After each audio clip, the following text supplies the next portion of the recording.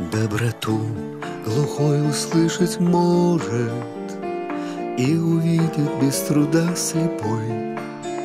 Каждый день, что будет нами прожит Озарим, давайте добротой Фонд продовольствия «Русь» решил подарить всем православным христианам 10 тысяч пасхальных яиц, освященных самим патриархом московским и всея Руси Кириллом. Уникальная по своим масштабам благотворительная акция «Пасхальная корзина доброты» началась 1 апреля. Для нее компания X5 Retail Group привезла в фонд продовольствия целый автомобиль «Газель» со свежими яйцами.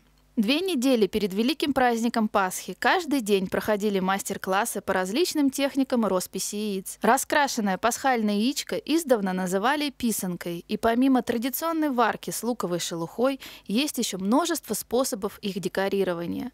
Профессиональные педагоги научили всех пришедших, как расписать яйцо с помощью воска или украсить его в технике декупаж.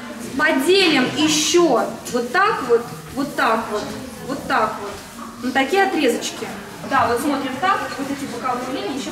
Мастер-классы по писанкам прошли в детских домах и других социальных учреждениях Москвы и Московской области. Согретые детскими руками пасхальные символы в Великую Субботу отправятся в храм Христа Спасителя, где их осветит святейший патриарх Кирилл.